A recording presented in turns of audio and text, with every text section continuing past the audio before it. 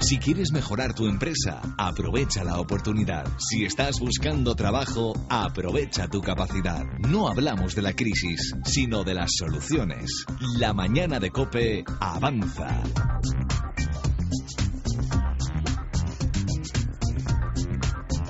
Bueno, pues efectivamente, la mañana de COPE avanza y lo hace con Ayanet Consultoría Integral. Hoy nos visita Irene Lozano, del Departamento de Selección de Ayanet Consultoría Integral. ¿Qué tal? Buenos días. Hola, buenos días. Ay, Irene, hemos llegado a, a un punto que yo creo que mucha gente está interesada, que son las temidas, temidísimas entrevistas de trabajo. Claro, normal que sean temidas, ¿no? Hay veces que no tener preparada una entrevista pues te puede hacer quedarte en blanco ante una pregunta que hubieras sabido responder, de haberla pensado un poquitín antes, ¿no? Claro. Hay que prepararlo. Hay que preparar las entrevistas de trabajo. Bueno, vamos a, a- a hacer esas preguntas típicas que, que se hacen y son a lo mejor las más, las, las que más te pueden incomodar o que, o que no sabes por dónde tirar, ¿no? Muy bien. Por ejemplo, de vez en cuando hay algún entrevistador o entrevistadora que se te queda mirando seriamente y te dice, háblame de ti. Sí. Y ahí tú te quedas diciendo, "Oh, Claro, pasmado. te quedas pasmado. háblame de ti. ¿De qué querrá que le hable? bueno, yo creo que mm, no se trata de contar nuestra vida a nivel personal. ¿eh? Es un momento de oro pues para mostrar todas nuestras fortalezas, enfocar nuestras respuestas hacia el puesto concreto y a la empresa a la que optamos, ¿no? Hablaremos de nuestra trayectoria curricular, tanto de nuestra experiencia profesional como de nuestra formación, ¿no? Y también pues aprovecharemos para contar nuestros intereses y nuestras motivaciones presentes y, y futuras, ¿no? O sea, vamos a coger esta pregunta como una oportunidad para nosotros. Exactamente. Que no, por favor, que nos pregunten, que nos digan eso de háblame de ti. Exactamente. Y hablar a nivel profesional. Sí. Si personalmente, por ejemplo, ves que algún hobby o algo muy concreto de ti puede ser muy bueno, una afición, por ejemplo, por el deporte, o pues la remarcas. Y si no, limítate a lo profesional, que además es en lo que más cómodamente nos solemos mover. Ah, claro, Y lo que interesa. Otra pregunta que puede ser un poco pregunta trampa es si nos preguntan cuáles son nuestros puntos débiles. Ahí Ah, es bastante sí. común caer en tópicos, ¿no? Es- Exactamente, sí, siempre eh, tendemos a contestar eso que nos dicen en los libros. Algo negativo lo vuelves positivo. ¿eh? Di que eres perfeccionista, que eres demasiado responsable, eh, muy puntual. Bueno, vamos a evitar eso, que además sabemos que este libro... Soy un horror, soy muy puntual. No, Exactamente, no, tampoco es fa- ¿no? Es que lo hago todo tan bien que soy fatal.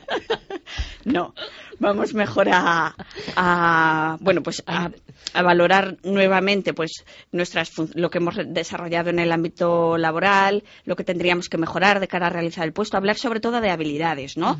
Eh, valorándolo como una oportunidad para desarrollarnos, por pero ejemplo. No, pero no nos podemos poner muy mal nosotros mismos. No, no, no, no, no, no. No, la cuestión es ser positivos. Vale. Por ejemplo, eh, tú sabes, y es muy evidente que en tu currículum no has dirigido equipos, ¿no? Y Mm. es una función de tu puesto o del nuevo puesto al que optas. Pues, por ejemplo, puedes decir, pues eh, un punto débil, pues que en mi último trabajo no tuve la oportunidad de liderar equipos y estoy segura de que lo podría hacer. Me encantaría además este puesto porque me daría la oportunidad.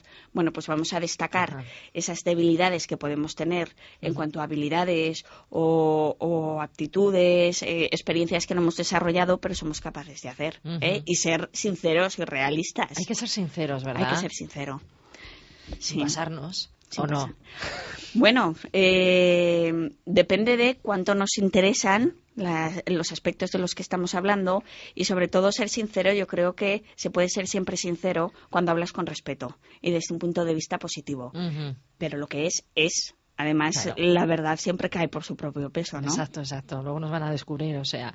Hay otra pregunta también interesante que siempre te preguntan, te dicen, ¿por qué te despidieron? ¿Por qué dejaste tu último trabajo? Y ahí ya dices, no sé si hablar muy mal o muy bien. Sí. Bueno, pues nuevamente ser sincero, ¿eh? dar los datos de los que disponemos. Hay veces que tampoco sabemos todo lo que ocurrió, ¿eh? no nos dan muchas explicaciones, Ya. pero bueno. Mm, ¿Por qué hay que ser sincero? Porque si no, muchas veces caemos en incoherencias. Por ejemplo, digo que me fui de un trabajo por tema económico y por otro lado estoy diciendo que el tema salarial no me importa. ¿no? Ya, ya. Pues bueno, puede ser que mis motivaciones hayan cambiado. Pues eso hay que justificarlo bien. Claro. Y si no, pues bueno, evitar caer en este tipo de mentirijillas que nos pillan muy Claro, pronto. claro. Evitar criticar ¿eh? porque bueno, siempre al final acaba teniendo la, per- la culpa un compañero, un jefe, no sé qué. Esto nada. Esto Nada, no borrón y cuenta nueva. Eh, a- a evitar hablar de problemas, todo esto. Pues bueno, focalizarnos en qué es lo positivo que nos dio ese trabajo, en qué es lo que aprendimos y qué experiencia podemos sacar provechosa para el puesto que nos están ofreciendo. Positivo, siempre positivo, nunca Sí. negativo. Bueno, y si nos preguntan qué, por qué nos tienen que contratar, ¿qué les decimos? Bueno, pues nuevamente es una oportunidad para hablar de tus logros, de tus motivaciones eh, y todo enfocado ¿no? a, a los requisitos que pide la empresa. A ser posible, habrá cosas que te encajen mejor y peor, pero bueno, si además eh, contestamos con un poco de picardía, Claro. Pues eso Es nos ayuda. Me alegro que me hagas esta pregunta. ¿no? Exactamente, exactamente. ¿Qué evitaremos? Compararnos con otros candidatos Sí. o hablar de otros candidatos que sepamos que han ido al proceso. Ya. Eso queda fatal. Eso Vamos a dejarlo. Eso no va con nosotros. nosotros. solos. Cuando te preguntan eso, por ejemplo, que si estás participando en otros procesos de selección, ¿esto es bueno decirlo o no? Igual eh, nos perjudica. Bueno, mm, igualmente creo que hay que ser honesto.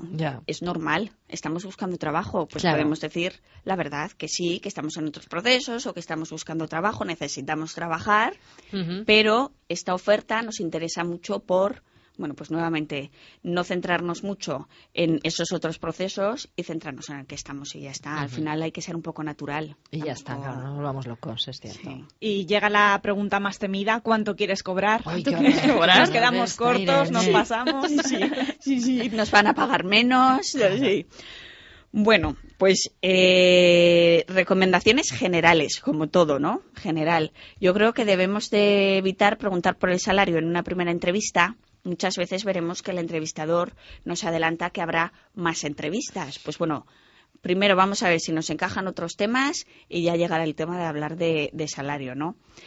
Eh, si es muy importante para nosotros o no pensa- pensamos que bueno eh, mm, necesitamos saberlo ya por algún motivo lo vamos a dejar para el final de la entrevista. Vamos a hablar del dinero en Al último final. término no puede ser que por otros motivos el tema no te encaje. Además te interesa dejarlo para el final para ver cuáles son las características totales de ese puesto porque igual luego en función de cuánto vayas a viajar o de qué responsabilidades vayas a asumir puedes variar un poco tus Claro. expectativas no yo creo que también dependerá de nuestra experiencia.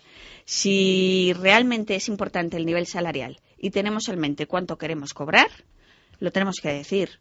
Sí que dejar un rango, yo recomiendo un rango, no pues por, por esos matices de última hora y para mostrarnos flexibles, porque no Ujú. todo es el dinero. Pero un rango normal, quiero decir. Normal, ¿no? normal. No nos vayamos de 12 a 60.000, Claro, por claro. ejemplo. No, no, pues yo qué sé, entre 20 y 28. Venga. eh, y eso ya es un Claro. rango amplio, Amplio, ¿eh? sí, Muy amplio. sí, sí. Eh, para los junior o la gente que no tiene experiencia, bueno, yo lo que recomiendo es que, como además el dinero no va a ser lo más importante para ellos, aunque para todos es importante, Sí. que se muestren más flexibles, ¿no? Que destaquen que ellos quieren trabajar, que quieren aprender y que, bueno, pues que el tema económico no es prioritario, que, de- que entiendes. Actualmente, claro. Actualmente, claro. Como no tenemos trabajo, el dinero nos importa menos. Claro. Actualmente. Pero bueno, sí que, eh, claro, tampoco vamos a trabajar por cualquier cosa. Por ¿no? eso. Yo sí que el- si fuera un candidato junior dejaría eh, entrever que entiendes que te van a dar algo justo, digno, acorde a tus responsabilidades, a tu trabajo. Y mm, lo que suele funcionar cuando el trabajo te interesa mucho, pero ves que luego te han ofrecido el sueldo y se te queda un poco corto y tal, es establecer o tratar de establecer un plan, un plan de progreso salarial. Ah, eso me gusta mucho. Más para gente sin experiencia, decir, vale, yo ahora sé que no puedo rendir todo lo que tú quieres, que me tengo que familiarizar, tengo que adquirir conocimientos, pues vamos a partir en esto que tú me propones y vamos a establecer pues cada X tiempo una revisión salarial conforme yo vaya consiguiendo más objetivos, ¿no? Claro. Además te ven Ay, bien lo dices, las me gusta ganas. mucho. Estoy por apuntármelo. Apunta, apunta, apunta. Claro. Sí. Es importante eso. Eh, también hay otra pregunta que nos, eh, que nos hacen a veces, que es, ¿cuáles son tus puntos fuertes? Bueno, pues eh, nuevamente yo creo que hay que ir un poco enfocándolo como hacia lo, como cuando hablamos de nuestros puntos débiles, ¿no? Volver a hablar de nuestras cualidades y tal, siendo sinceros, eh, contando la verdad, enfocándolo un poco hacia donde nos pueden, hacia qué cualidades podemos remarcar de cara al puesto. Y luego tener en cuenta que la mayoría de las veces que tú digas un- una cualidad tuya te van a pedir un ejemplo. Yo digo, soy muy responsable. Pues ponme un ejemplo. Claro. ¿no? Siempre, pues cuando queremos poner ejemplos, ¿qué podemos hacer?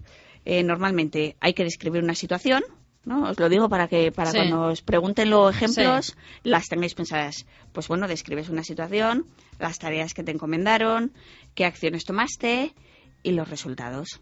Lo tienes así en mente que sean verdades. ¿eh? Que sean verdades. que sean no verdades. mentir y prepararse. Esto es fácil preparártelo, ¿eh? ¿No? Con un poco de tiempo sí, por lo menos. Lo, lo, lo Claro, meditas, claro, le das vueltas ¿eh? y llegas pues, claro, diciendo, dando lo "Venga, pre- mejor, pre- dando lo pregunta. mejor de ti. Eso es pregunta.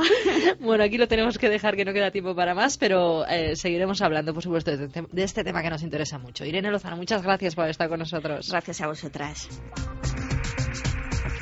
La mañana. Cope Zaragoza. Estar informado.